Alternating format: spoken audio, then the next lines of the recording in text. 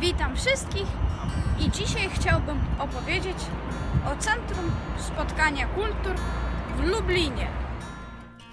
Historia Centrum Spotkania Kultur sięga roku 1974, kiedy w Lublinie rozpoczęto budowę teatru i filharmonii, mających mieścić się w pokaźnym obiekcie zajmującym docelowo trzy sale widowiskowe o łącznej liczbie około 2300 miejsc.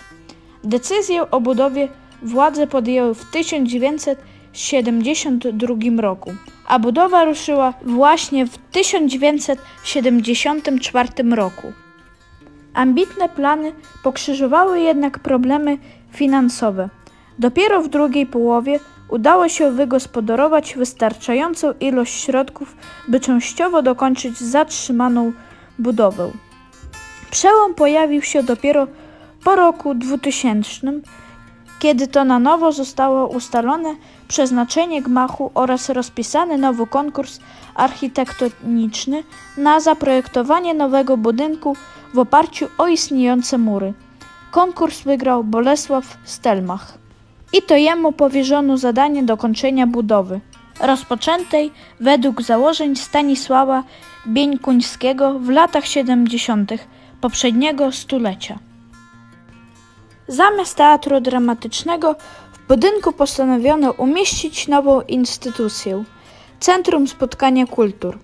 Nowy projekt został wpisany na listę kluczowych instytucji dla regionu i wreszcie zyskał finansowanie pozwalające na dokończenie blisko 40-letniej budowy. Całość jest mocno surowa, oszczędna i nie boi się odsłaniania prawdziwych materiałów konstrukcyjnych użytych przy wznoszeniu budowli.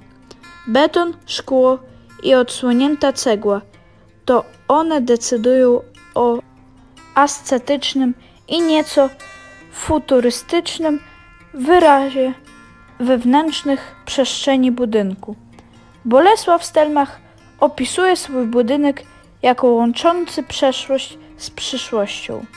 Znajdujący się przed budynkiem pochyłe zniesienia symbolizują związane z przyszłością kurhany, szklane, multimedialne, elewacje to teraźniejszość, zaś zielony dach to zdaniem autora projektu budynku przyszłość architektury.